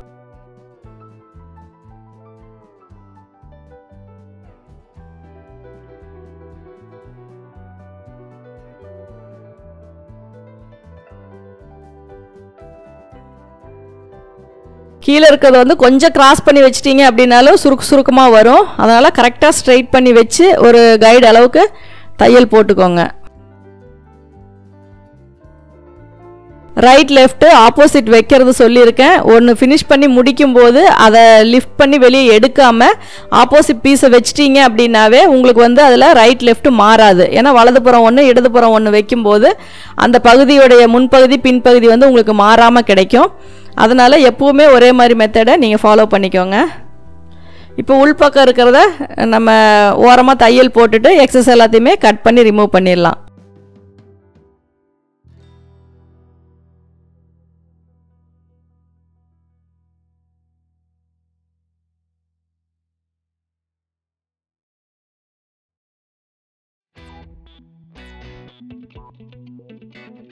இதுவுமே வந்து உங்களுக்கு கீழ்ப்பகுதியை வந்து அடித்து திருப்புறதுனால திருப்பிக்கோங்க. பேக் சைடு வந்து துணி சுருண்டுக்குது தூக்கிட்டு இருக்குது அப்படிங்கிற மாதிரி ஃபீல் பண்ணீங்க அப்படின்னா எக்ஸ்ட்ராவாக பீஸ் கொடுத்து அடித்து உள்பக்கமாக திருப்புங்க. ஏன்னா ஒவ்வொருத்தரும் ஒவ்வொரு மெத்தட் ஃபாலோ பண்ணுவீங்க. அதையே அப்படியே வந்து நீங்கள் ஃபாலோ பண்ணிக்கோங்க. இப்போ நான் இதில் வந்து மேலே ஃபேஸிங் வந்து ரைட் சைடு வச்சுருக்கேன். ரைட் சைடு வச்சு ஃபேஸிங் அப்படின்னாவே ஒன்றுக்கு ஒன்று பார்த்துட்டு இருக்கிறத தான் நம்ம ஃபேஸிங்னு சொல்லுவோம். அது வந்து ரைட் சைடு வச்சுருக்கேன். அப்போ வந்து உங்களுக்கு படிமான தையல் போட்டு திருப்பும் போது அது லைனிங் வந்து ராங் சைடில் போயிடும்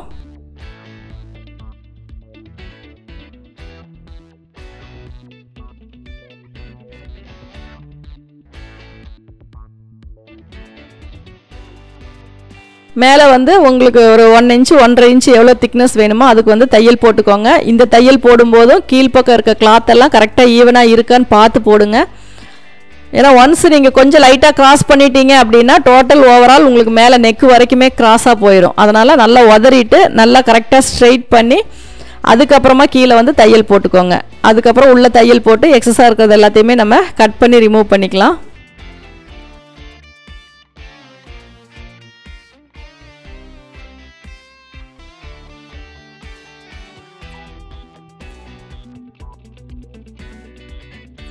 இந்த தையலுமே சொல்லியிருக்கேன். முடிஞ்ச அளவுக்கு எஜ்ஜில் போடுங்க. ரொம்ப உள்ள தள்ளி போட்டீங்க அப்படின்னா நீங்கள் ஸ்லீவெல்லாம் அட்டாச் பண்ணி நெக்கெல்லாம் வச்சதுக்கப்புறம் பார்த்தா அந்த தையல் வெளியே தெரியும்.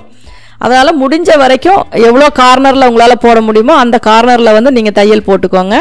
ஒரு சிலர் லாங் ஸ்டிச் வைப்பாங்க. ஏன்னா சி- சின்ன தையல் வச்சு எவ்வளோ நேரம் தைக்கிறது அப்படின்னு சொல்லிட்டு அதில் ஸ்டிச்சஸோடைய அளவை வந்து மாற்றுவாங்க அப்படி மாற்றினாலும் பிரச்சனை இல்லை. ஆனால் சுருக்கம் மட்டும் வராமல் பார்த்துக்கோங்க.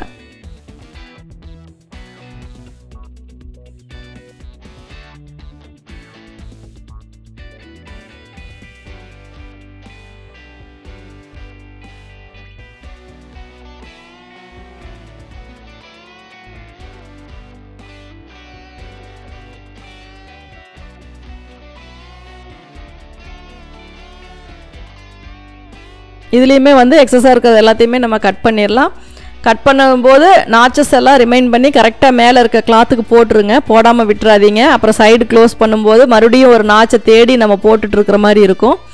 அதே மாதிரி நீங்கள் நாச் போடும்போதே நீடில் மார்க் வேணுனாலும் போட்டுக்கோங்க. அப்போ வந்து உங்களுக்கு ஓவர்லாக் போட்டுட்டாலும் அந்த நாச்சஸ் இருக்க பகுதி வந்து உங்களுக்கு விசிபிளாக தெரியும். ஏன்னா நாச் சின்னதாக போடும்போது நம்ம ஓவர்லாக் போடும்போது அது மறைஞ்சிரும். அதனால் அதுக்கு கீழ்ப்பக்கமாக தையல் வர்ற இடத்துல நீங்கள் ஒரு நீடில் மார்க் வேணுனாலும் நீங்கள் போட்டுக்கோங்க. டாட்டுக்கு நம்ம ஆல்ரெடி லைனிங்கில் மார்க் பண்ணியிருக்கோம். அதனால் உங்களுக்கு அந்த டாட் பிடிக்கிறது ரொம்ப ஈஸியாக இருக்கும். ரொம்ப அதிகமாக பிடிச்சிங்க அப்படின்னா பின்பக்கம் தூக்கிட்டு இருக்கிற மாதிரி இருக்கும். ஏன்னா அந்த இடத்துல முதுகு சைடில் வந்து உங்களுக்கு கிளாத் மேலே ஏறிடும். அதனால் பேக் டாட் வந்து ஓரளவுக்கு கரெக்டாக பிடிச்சிக்கோங்க. அதிகமாக பிடிக்க பிடிக்க அந்த இடத்துல கிராஸ் வந்துச்சு அப்படின்னா முதுகு பகுதி வந்து மேல் பக்கமாக மேலே ஏறிக்கும். அதே மாதிரி ரொம்ப இடுப்பிறக்கம் வச்சிங்க அப்படின்னா லாங் வந்து டாட் வந்து நல்லா லாங்காகவே பிடிச்சிக்கலாம். பன்னெண்டு பன்னெண்டரை இன்ச்சு தான் இறக்கம் இருக்குது அப்படின்னா நீங்கள் ரெண்டரை இன்ச்சு ரெண்டே முக்கால் இன்ச்சுக்கு டாட் பிடிச்சிங்கன்னா போதும்.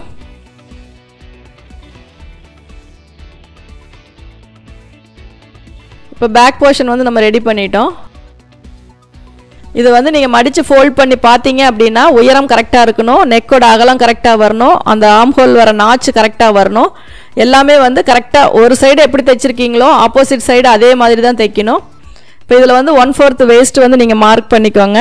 ஒன் ஃபோர்த் வேஸ்ட் அப்படின்னா நம்ம இடுப்பு சுற்றளவில் நாலில் ஒரு பங்கு. அந்த இடத்துல நீடில் மார்க் போட்டுக்கோங்க. மார்க் போட்டிருந்தாலும் நீங்கள் கடைசியாக ஜாயின் பண்ணும்போது ரஃபாக ஒரு தையல் போட்டுட்டு அப்புறம் அளந்து பார்த்துட்டு அதுக்கப்புறம் அட்ஜஸ்ட்மெண்ட் பண்ணி அடுத்த தையல் வந்து நீங்கள் போட்டுக்கோங்க.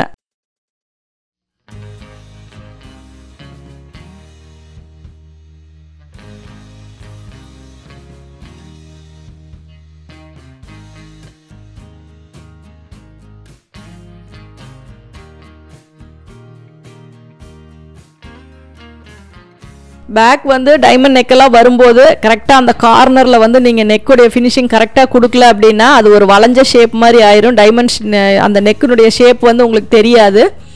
அதனால் அந்த கார்னர்லலாம் நீங்கள் கொண்டு வந்து நீடில் நிறுத்தும் போது நல்லா உள்ளே டிப் பண்ணி நல்லா திருப்பி அதில் கார்னர் பண்ணி அதுக்கப்புறமா தையல் போடுங்க. அதே மாதிரி சிசர் கட் போட்டு படிமான தையல் போட்டு திருப்பினீங்க அப்படின்னா தான் உங்களுக்கு அந்த டைமண்ட் நெக்குடைய அந்த ஷேப் எல்லாமே கரெக்டாக தெரியும். இல்லாட்டினா அது போட போட உங்களுக்கு அது ஒரு ரவுண்ட் ஷேப் மாதிரி ஆயிரும். பட்டி பார்த்தீங்கன்னா எக்ஸஸாக இருக்கிறதெல்லாம் கிளாத் பார்த்ததுக்கப்புறம் ரெண்டுமே ஈவனாக வரணும். அந்த கார்னர் எஜ்ஜு வேணால் ஒரு கால் இன்ச்சு கட் பண்ணி கிராஸ் பண்ணி கட் பண்ணிக்கலாம். அது கட் பண்ணிட்டீங்க அப்படின்னா உங்களுக்கு பட்டி அட்டாச் பண்ணும்போது கொஞ்சம் ஈஸியாக இருக்கும். ஃப்ரண்ட்டில் மட்டும் கட் பண்ணிங்கன்னா போதும்.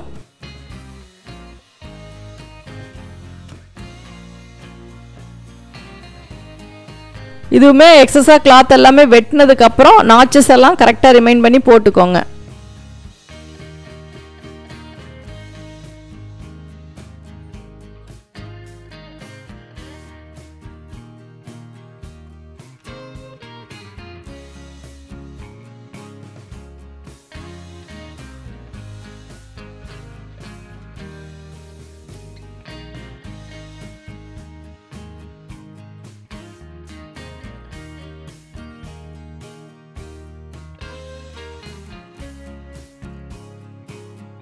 ஸ்லீவ்லேயுமே எக்ஸஸாக இருக்க கிளாத்தெல்லாம் வெட்டிட்டு ஆம்ஹோல் நாச்சஸ் வந்து ஷோல்டர் நாச்சு ஆம்ஹோல் நாச்சு எல்லாமே மறுபடியும் மறக்காமல் போட்டுக்கோங்க.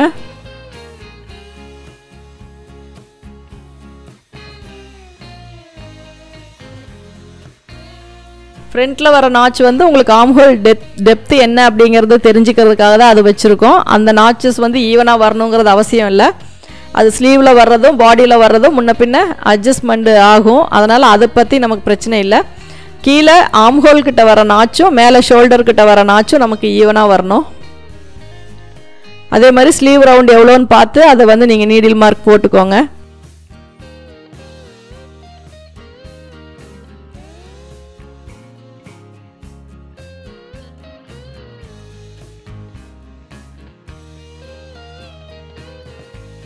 இந்த நீடில் மார்க்கு இதெல்லாம் நாச்சஸ் எல்லாம் போடுறது அப்படிங்கிறது வந்து நமக்கு ஸ்டிச்சிங்கை பொறுத்த வரைக்கும் ரொம்ப ஈஸியாக இந்த ஒர்க்கை முடிக்கிறதுக்கு சப்போர்ட்டாக இருக்கும். ஏன்னா அதெல்லாம் நீங்கள் போடலை அப்படின்னா பர்டிகுலராக ஒவ்வொரு பிளேஸையுமே நீங்கள் மெஷர் பண்ணி பார்த்து பார்த்து தான் மார்க் பண்ணணும். அதனால் இந்த நாச்சஸ்ஸு நீடில் மார்க் அப்படிங்கிறதெல்லாம் ரொம்ப இம்பார்ட்டன்ட் நீங்கள் அதை வந்து உங்கள் ஈஸியாக நீங்கள் ஸ்டிச் பண்ணும்போது நார்மலாக பண்ணும்போது அதெல்லாம் யூஸ் பண்ணி நீங்கள் பண்ணிகிட்டே இருந்தீங்க அப்படின்னா ஆட்டோமேட்டிக்காக உங்களுக்கு அது ஒரு கைப்பழக்கம் மாதிரியே ஆயிரும்.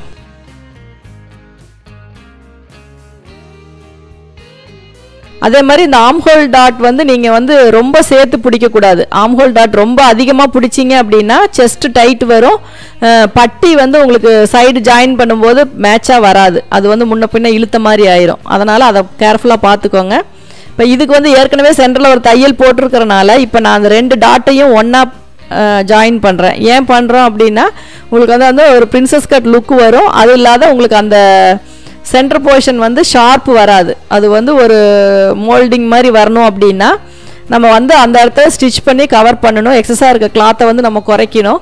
அப்போ என்ன பண்ணோம் அப்படின்னா அந்த ரெண்டு டாட்டையுமே நம்ம ஒன்றா ஜாயின் போட்டுக்கணும்.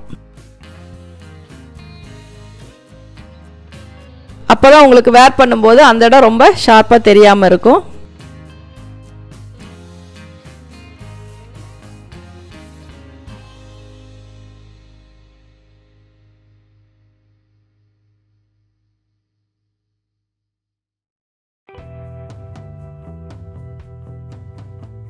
மேலே வேணாலும் படிமான தையல் போட்டுக்கோங்க. பிசுரெல்லாம் நம்ம செஸ்ட் ரவுண்டு பக்கம் தள்ளி விட்டுட்டு ஆம்ஹோல் பக்கம் தள்ளி விட்டுட்டு மேலே படிமான தையல் போட்டுக்கோங்க.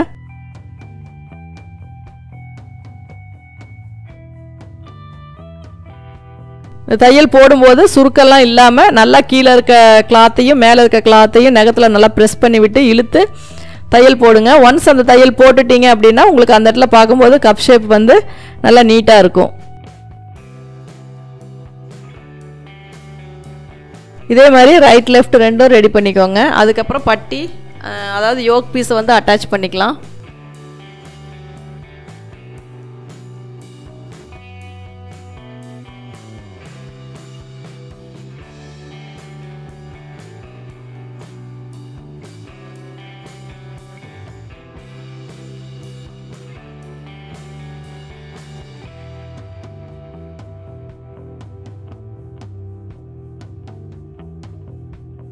யோக் பீஸும் மேட்ச் பண்ணி பார்த்துக்கோங்க. அந்த சென்டரில் வர அந்த கட் போட்டிருக்கிறனால கார்னரில் கட் போட்டிருக்கிறனால அதை அளவாக தைக்கிறதுக்கான அளவாக அதை வச்சு அதுக்கப்புறம் அப்படியே ஜாயின் பண்ணிக்கோங்க. ஜாயின் பண்ணும்போது அந்த சென்டர் நாச்சை வந்து அவுட்டரில் தள்ளி விட்டுருங்க. ரொம்ப இழுக்காதீங்க. நமக்கு வந்து ஈவனாக வரணும். நம்ம பட்டி எப்படி கட் பண்ணியிருக்கோமோ அதுக்கு தகுந்த மாதிரி உங்களுக்கு எக்ஸஸாக பீஸ் வந்து க அது எக்ஸஸாக வருமா ஷார்ட்டேஜாக வருமா அப்படிங்கிறது உங்களுக்கு தெரியும். இப்போ இதை வந்து நம்ம பட்டியில் தையல் போட்டுட்டு நம்ம அதை ஓவர்லாக் போட்டுக்கலாம். அதே மாதிரி பேக்கு ஃப்ரண்ட்டு ஷோல்டர் ஜாயின் பண்ணி அதுக்கும் நம்ம ஓவர்லாக் போட்டுக்கலாம்.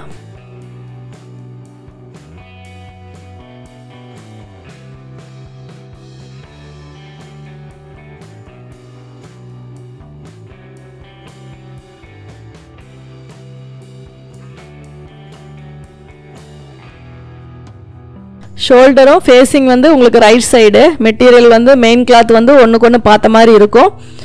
கீழ்ப்பக்கமும் மேல் பக்கமும் வந்து உங்களுக்கு லைனிங் கிளாத் தெரியும். அப்படியே வச்சு ஷோல்டர் ஜாயின் போட்டுக்கோங்க. போட்டுட்டு நீங்கள் ஓவர்லாக் போட்டுக்கலாம்.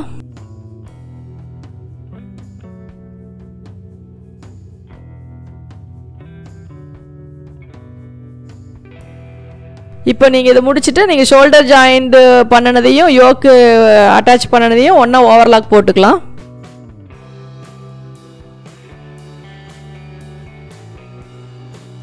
நீங்கள் இந்த பட்டியெல்லாம் அட்டாச் பண்ணது உடனே அந்த சைடில் வந்து அதை ஈவனாக வருதா அப்படிங்கிறத ஒரு தடவை வச்சு மேட்ச் பண்ணி பார்த்துக்கோங்க இது வந்து நம்ம வீப்பட்டி வைக்கிறது. வீப்பட்டி வைக்கிற போர்ஷனை வந்து நம்ம கொஞ்சம் லூஸ் விட்டு தான் நம்ம தையல் போடணும். ஏன்னா அதை வந்து நீங்கள் இழுத்து ரொம்ப இழுத்து வச்சு தையல் போட்டிங்க அப்படின்னா உங்களுக்கு பட்டியோட இது வந்து நீண்டுட்டே போகும். அதனால் கரெக்டாக அந்த இதை வச்சு போடுங்க. லூஸ் விட்டு அப்படின்னா அதுக்குன்னு ஓவராக லூஸை விட்டு சுருக்கம் வர மாதிரி பண்ணிடாதீங்க. ஓரளவுக்கு கரெக்டாக இழுத்துக்கோங்க. ஏன்னா உங்களுக்கு வந்து எப்போவுமே இதில் கம்ப்ளைண்ட் வர்றது வி பட்டியை விட அந்த ஹூக் பட்டி வந்து கொஞ்சம் உயரமாக இருக்குது அது கட் பண்ணுற மாதிரி ஆல்ட்ரேஷன் வருது அப்படின்னு சொல்லி சொல்லியிருக்கீங்க. அதனால் வீப்பட்டி வைக்கும்போது ஓரளவுக்கு கரெக்ட் பண்ணி தையல் போடுங்க. ஊக்பட்டி வைக்கும்போது மட்டும் அது நல்லாவே லூஸ் விட்டு சுருக்கு வராத அளவுக்கு தையல் போட்டுட்டு ரெண்டும் வச்சு பார்த்தீங்க அப்படின்னா உங்களுக்கு ஈவனாக வரும்.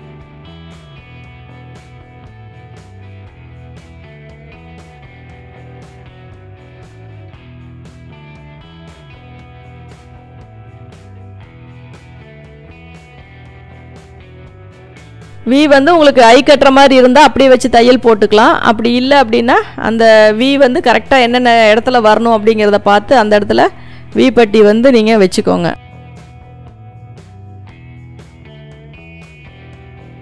இதுவுமே வந்து கரெக்டாக ஈவனாக அஞ்சு வந்து டிஸ்டன்ஸ் கரெக்டாக மெயின்டைன் பண்ணும். அதுக்கு என்ன பண்ணும் அப்படின்னா நீங்கள் ஃபஸ்ட்டு ஒரு மார்க் போட்டுக்கோங்க. எண்டில் ஒரு மார்க் போட்டுக்கோங்க.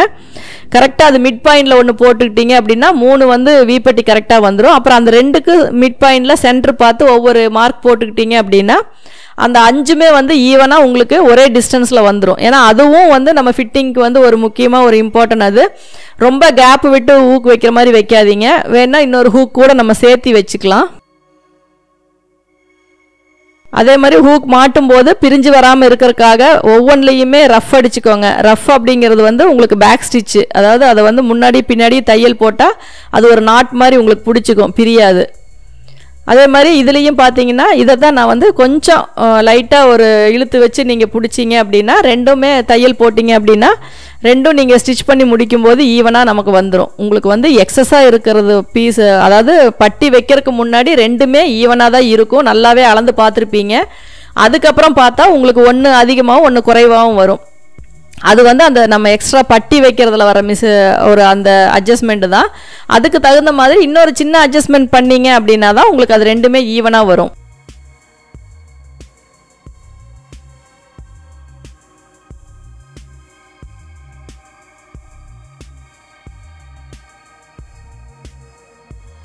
அது ஈவனாக வராமல் நீங்கள் நெக் பக்கம் கட் பண்ணீங்க அப்படின்னா நெக்கோட ஷேப் வந்து உங்களுக்கு மாறும். இப்போ பார்த்தீங்கன்னா அதில் பிசுறு நீட்டிகிட்டு இருக்கு. இதையும் அதையும் வச்சு மேட்ச் பண்ணி பார்த்தீங்க அப்படின்னா உங்களுக்கு உயரம் ரெண்டுமே ஒரே அளவாக கரெக்டாக வரும். எல்லாமே பார்த்தீங்கன்னா அந்த பட்டியோட ஜாயிண்ட்டு சென்டரில் போட்டிருக்க டாட்டு இது எல்லாமே வந்து உங்களுக்கு ரைட் லெஃப்ட் ரெண்டுமே ஒரே மாதிரி வரணும்.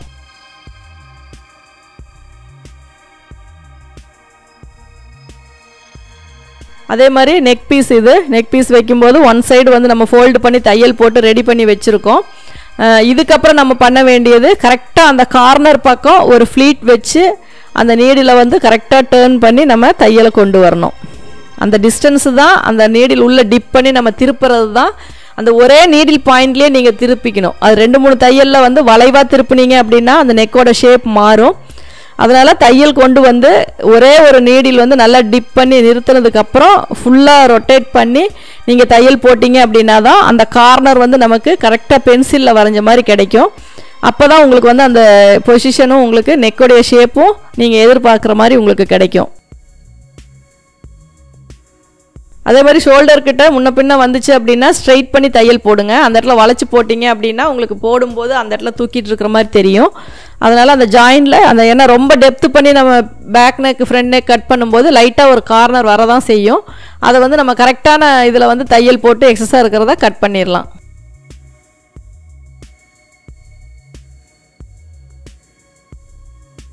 டைமண்ட் நெக் அப்படிங்கும்போது உங்களுக்கு பேக் சைடில் வந்து மூணு கார்னர் வரும். ஃப்ரண்ட்டில் வந்து ரெண்டு கார்னர் வரும். அந்த கார்னர் எல்லாத்தையுமே வந்து நீங்கள் ஒரே மாதிரி தான் உள்ள நீடியில் டிப் பண்ணி கரெக்டாக திருப்பி அதில் வந்து நீங்கள் தையல் போடணும்.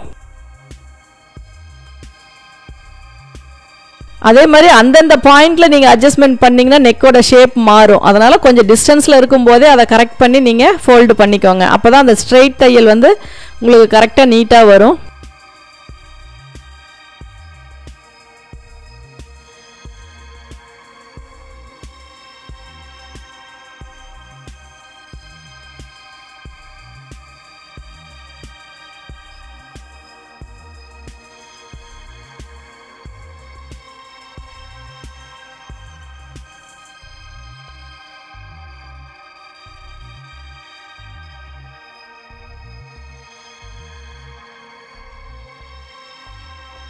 அதில் வர எல்லா அஞ்சு கார்னருமே ஒரே மாதிரி நீங்கள் வச்சு தையல் போட்டுக்கோங்க. அது அகலம் ஒரே மாதிரி வரணும். நீங்கள் தைக்கிறதுக்கு விடுற ஸ்பேஸ் ஒரே மாதிரி வரணும்.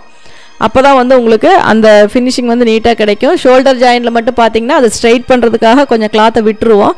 அதை வந்து நீங்கள் கட் பண்ணிக்கோங்க.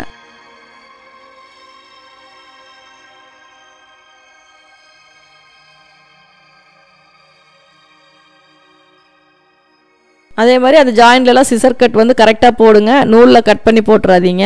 நூல் கட் பண்ணால் மறுபடியும் தையல் போடுற மாதிரி வரும். அந்த ஷேப் எல்லாமே மாறும்.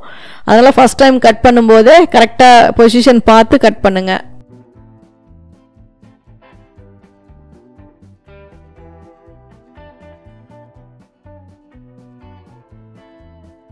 கரெக்டாக அந்த கார்னரை வந்து நீங்கள் ஸ்ட்ரைட் பண்ணி கட் பண்ணி படிமான தையல் போட்டுக்கலாம். ஷோல்டர்கிட்ட பார்த்தீங்கன்னா எக்ஸஸாக பிசுறு வரும். அதை ஸ்ட்ரைட் பண்ண சொல்லியிருந்தேன். அதையுமே நம்ம கட் பண்ணி ரிமூவ் பண்ணிக்கலாம். பேக் சைடு வந்து அதே மாதிரி அந்த இதை வந்து மூணு இது கட் பண்ணிக்கலாம்.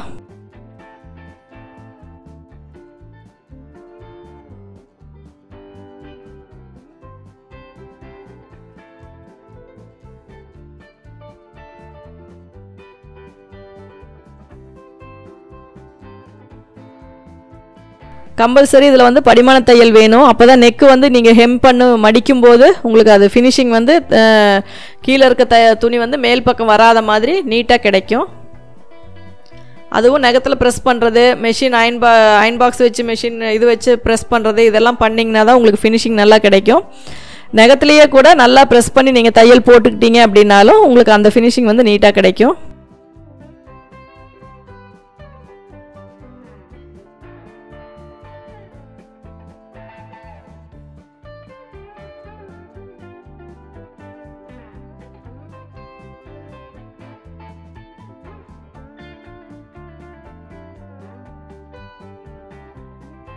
அந்த கார்னர் பார்த்துக்கோங்க. நல்லா அந்த நீடில் வந்து கரெக்டாக அதில் உள்ள திருப்பிட்டு அதுக்கப்புறம் அதை டேர்ன் பண்ணிவிட்டு கீழே வந்து எக்ஸஸாக இருக்க துணி மேலே தையல் பட்டுருச்சு அப்படின்னாவே உங்களுக்கு அந்த ஃபினிஷிங் ஃபோல்டிங் பண்ணும்போது அந்த ஃபினிஷிங் நீட்டாக கிடைக்காது. கரெக்டாக அந்த ஒவ்வொரு தையல் மேலே தான் கிளாத் மேலே தான் தையல் விழணும் அப்படின்னா நீங்கள் அதே மாதிரி கரெக்டாக மெயின்டைன் பண்ணிக்கோங்க. ரெண்டு மூணு கிளாத்து கீழே ஒன்றா வச்சு தையல் போட்டுட்டீங்க அப்படின்னாவே உங்களுக்கு அந்த வளைஞ்சு கொடுக்குற அந்த ஃபினிஷிங் வந்து கார்னர் கரெக்டாக வராது.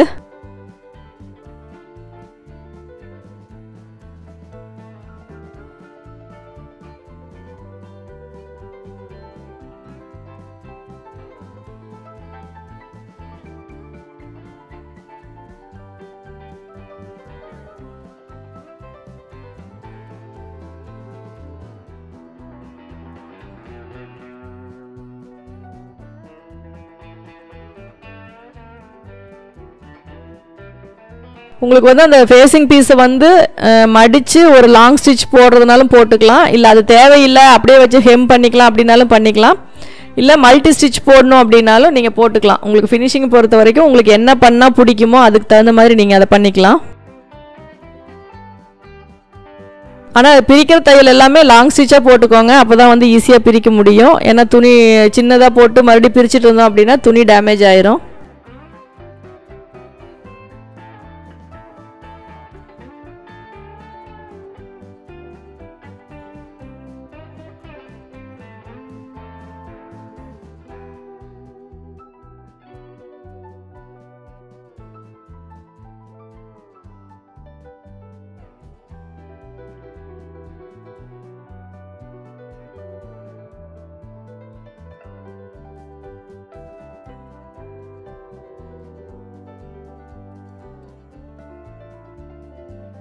இப்போ இது போட்டுட்ருக்கிறது வந்து லாங் ஸ்டிச்சு தான். இந்த தையலை வந்து நம்ம பிரிச்சுக்கலாம்.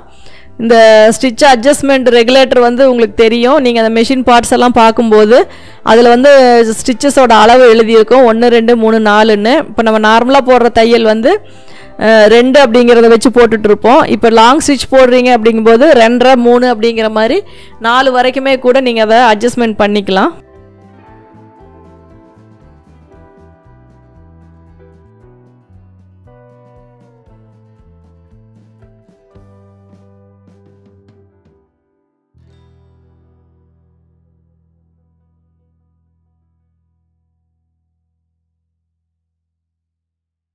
பார்த்தீங்கன்னா பேக் போர்ஷன் வந்து நம்ம ரெடி பண்ணிட்டோம். டைமண்ட் பார்த்தீங்கன்னா கரெக்டாக உங்களுக்கு பென்சில் ஸ்கேல் வச்சு மார்க் பண்ண மாதிரி அந்த ஷேப் எல்லாமே உங்களுக்கு பர்ஃபெக்டாக கிடைக்கும். ஏன்னா அந்த கார்னர் வந்து தையல் நீங்கள் நீடில் டிப் பண்ணி திருப்பல அப்படின்னா வளைஞ்ச மாதிரி வரும். அப்புறம் பார்த்தா உங்களுக்கு அது டைமண்ட் ஷேப் மாதிரியே தெரியாது.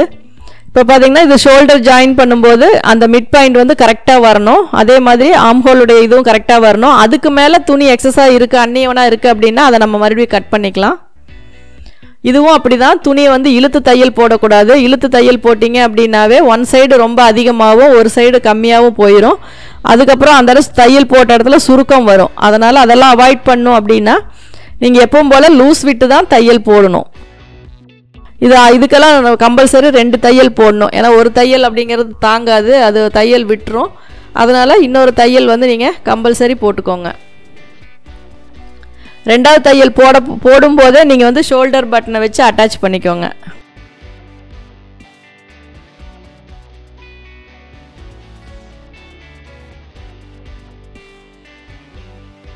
நம்ம பேக்கில் எப்படி ஒன் ஃபோர்த்து வேஸ்ட்டு மார்க் பண்ணமோ அதே மாதிரி தான் இது ஃப்ரண்ட்டு அதே மாதிரி ஒன் ஃபோர்த்து வேஸ்ட்டு தான் மார்க் பண்ணுறோம் அந்த வீப்பட்டியை விட்டுட்டு மெஷர் பண்ணுங்கள் நிறையா இடத்துல நான் மென்ஷன் பண்ணியிருக்கேன். வீப்பட்டியோடு சேர்த்து மெஷர் பண்ண வேண்டாம்.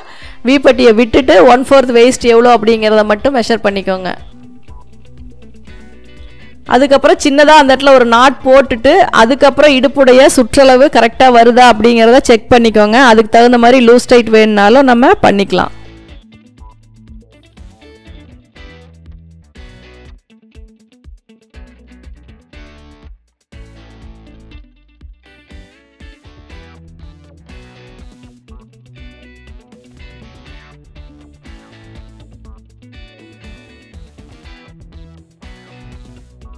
இப்போ அந்த நாச்சஸ் எல்லாம் பார்த்தீங்கன்னா கரெக்டாக ஈவனாக வரும்.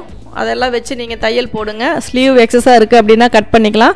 நமக்கு பாடி நாச்சஸ் வந்து ஈவனாக வரணும். ஏன்னா நீங்கள் ஸ்லீவ் நாச்சஸை மெயின் பண்ணி போட்டுட்டீங்க அப்படின்னா பாடி டைட்டாவோ அல்லது லூஸாவோ ஆயிரும். அதனால் பாடியில் வர்ற பேக் அண்ட் ஃப்ரண்ட் நாச்சஸ் வந்து உங்களுக்கு ஈவனாக வந்தால் தான் உங்களுக்கு வந்து அது ஃபிட்டிங் வந்து கரெக்டாக வரும். கை சுற்றளவு எவ்வளோன்னு பார்த்துக்கோங்க அஞ்சரை இன்ச்சா அஞ்சே முக்கால் இன்ச்சான்னு பார்த்து அதுக்கப்புறம் நீங்கள் ஸ்டிச்சஸ் போட ஆரம்பிங்க. சென்டரில் பார்த்தீங்கன்னா பின் போட்டு நம்ம வச்சுக்கலாம். பின் நகராமல் இருக்கும்.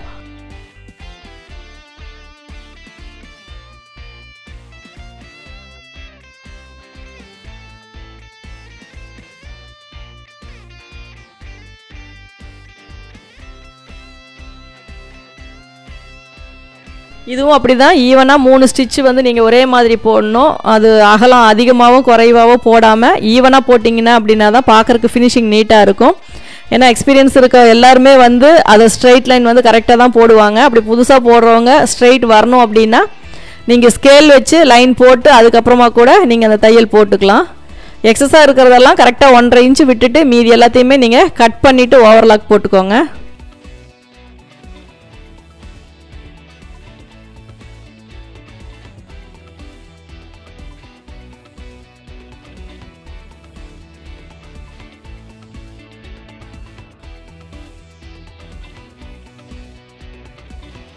இப்போ பார்த்தீங்கன்னா மூணு தையல் நம்ம ஈவனாக போச்ச போட்டு சைடில் இருக்க எக்ஸஸாக இருக்க கிளாத் எல்லாத்தையுமே ரிமூவ் பண்ணிட்டோம். இப்போ இதில் ஃபினிஷிங் பார்த்தீங்க அப்படின்னா அந்த ஆம் ஹோல் ஜாயின் பண்ணுற இடம் உங்களுக்கு பர்ஃபெக்டாக அந்த நாலு இதுவுமே பார்த்தீங்கன்னா ஒரு ப்ளஸ் மாதிரி ஒரே புள்ளியில் வந்து ஜாயிண்ட் ஆகும்.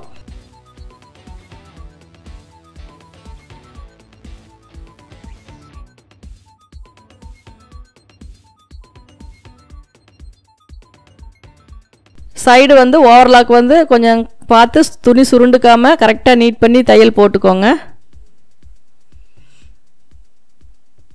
அதே மாதிரி அந்த லாங் ஸ்லீவ் இதெல்லாம் நீங்கள் புதுசாக ஒன்று ட்ரை பண்ணீங்க அப்படின்னா ஆட்டோமேட்டிக்காக அதை ஒரு ஒரு ஸ்டிச்சு முடித்த உடனே அந்த தையலெல்லாம் கரெக்டாக பதிகிற மாதிரி ஒரு ஐனிங் போட்டுக்கிட்டீங்க அப்படின்னா எப்போ நீங்கள் வாஷ் பண்ணாலுமே அந்த மடிப்பு அந்த இதெல்லாம் உங்களுக்கு அப்படியே தான் இருக்கும்.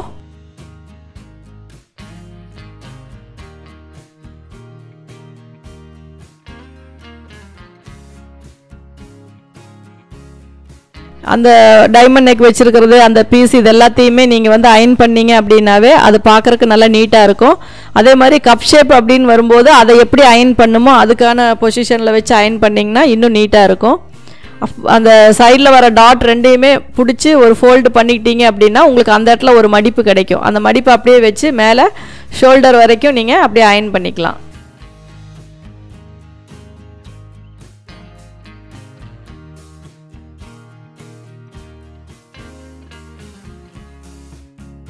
அயனிங் அப்படிங்கிறதும் நமக்கு ஸ்டிச்சிங்கில் வந்து ரொம்ப இம்பார்ட்டண்டான ஒரு விஷயம் தான் அதனால் ஃபஸ்ட்டு ஸ்டிச் பண்ணணும் அயன் பண்ணிட்டீங்க அப்படின்னா அந்த க்ரீஸ் வந்து உங்களுக்கு அவ்வளோ சீக்கிரத்தில் வந்து நீங்கள் வாஷ் பண்ணால் போகாது. இப்போ பார்த்தீங்கன்னா நம்ம ரெண்டு ப்ளவுஸ் வச்சு கட் பண்ணோம். அந்த ரெண்டு ப்ளவுஸில் ஒரு இதை மட்டும் நம்ம இப்போ ஸ்டிச் பண்ணியிருக்கோம். அதனால் கட் பண்ணும்போது உங்களுக்கு மேக்ஸிமம் எத்தனை மெட்டீரியல் வச்சு சிசர் பர்ஃபெக்டாக இருக்குது அப்படின்னா நீங்கள் கட் பண்ணுங்கள் ஏன்னா கட் பண்ணும்போது துணி வந்து டிஃப்ரெண்டில் வந்துடக்கூடாது அப்படி வந்துச்சு அப்படின்னா உங்களுக்கு லூஸ் அதிகமாக போயிட்டே இருக்கும்.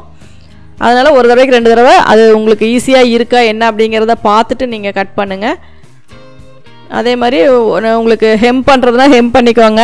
இல்லை மல்டி ஸ்டிச்சில் மெஷினில் தையல் போடணுன்னா அப்படின்னாலும் போட்டுக்கலாம்.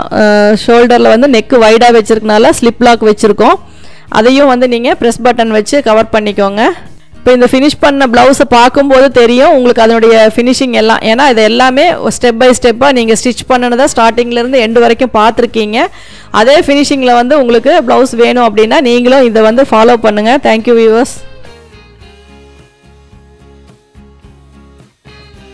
நீங்கள் தொடர்ந்து இந்த சேனலை பார்த்து யூஸ் பண்ணிக்கணும் அப்படின்னா இந்த சேனலை சப்ஸ்கிரைப் பண்ணுங்கள் பெல் பட்டன் ப்ரெஸ் பண்ணுங்கள் உங்கள் ஃப்ரெண்ட்ஸ் கிட்ட ஷேர் பண்ணுங்கள் அதில் ஏதாவது உங்களுக்கு கமெண்ட்ஸ் தெரிவிக்கணும்னா கமெண்ட்ஸ் பாக்ஸில் போடுங்க. தேங்க்யூ ஃபார் வாட்சிங்